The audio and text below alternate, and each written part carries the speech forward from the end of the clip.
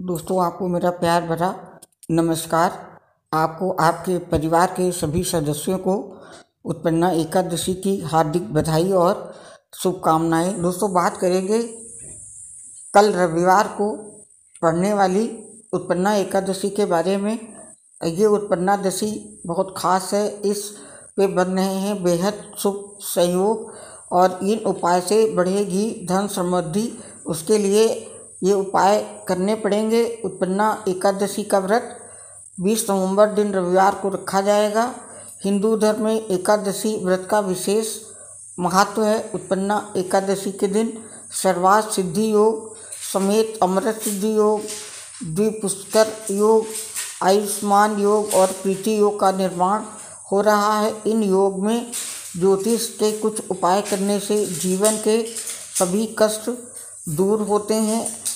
आइए इन उपायों के बारे में जानते हैं। लक्ष्मी की कृपा प्राप्त करने के लिए उत्पन्ना एकादशी के दिन सुबह विधिवत पूजा अर्चना करें और रात के समय प्रतिमा या फ़ोटो के सामने नौ बत्तियों का दीपक जलाएँ। इसके अलावा एक अखंड दीपक जलाएँ जो पूरी रात जले। इसके बाद भगवान विष्णु और माता लक्ष्मी के 108 नामों का जाप करें। माना जाता है, ऐसा करने से माता लक्ष्मी की विशेष कृपा प्राप्त होती है। आर्थिक स्थिति मज़बूत होगी। इसके लिए आपको उत्पन्ना एकादशी के दिन एक लोटे में थोड़ी चीनी मिला लें और उसे पीपल के पेड़ पर अर्पित करें और फिर सरसों के तेल का दीपक जलाएँ। इसके बाद शाम के समय पीपल के पास घी का दीपक जलाएँ। मान्यता है कि पीपल के पेड़ में भगवान विष्णु का वास माना गया है। ऐसा करने से पितरों की आत्मा की शांति मिलती है और इन धन संबंधित समस्याएँ भी दूर होती हैं। इच्छाओं की पूर्ति के लिए उत्पन्ना एकादशी के दिन भगवान विष्णु का दक्षिणावर्ती शंख में कच्चे दूध और केसर से अभिषेक करें। इसके बाद नारियल और बादाम का भोग लगाएँ और फिर ऐसा लगातार सत्ताईस एकादशी तक करते रहें। ऐसा करने से विशेष शुभ फल की प्राप्ति होती है और भक्त की सभी इच्छाएँ पूरी होती हैं।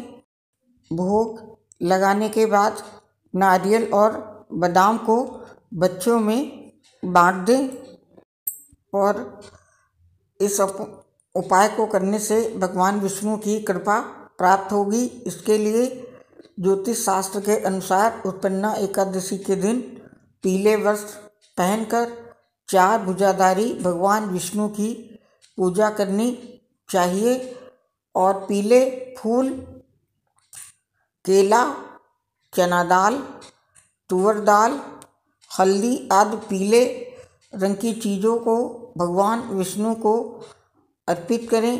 पूजन के बाद इन सभी चीज़ों को गरीबों में बांट दें। ऐसा करने से आर्थिक स्थिति मज़बूत होगी और कर्ज से धीरे धीरे मुक्ति मिल जाती है। और समृद्धि बढ़ाने के लिए ये उपाय करें। उत्पन्ना एकादशी रविवार को है, इसलिए इस दिन तुलसी के पत्ते ना तोड़ें, लेकिन सायकाल के समय तुलसी के सामने घी का दीपक जलाएँ और ओम नमो भगवते वासुदेव, वाय नमः मंत्र का जप करते हुए ग्यारह परिक्रमा करें। ऐसा करने से घर में सुख, समृद्धि आती है और सौभाग्य में वृद्धि होती है। साथ ही इस दिन कथा सुनने व पढ़ने मात्र से कई तरह के पापों से मुक्ति मिल जाती है।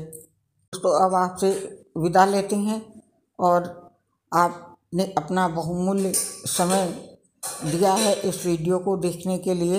इसके लिए आप सबका बहुत बहुत धन्यवाद। नमस्कार दोस्तों।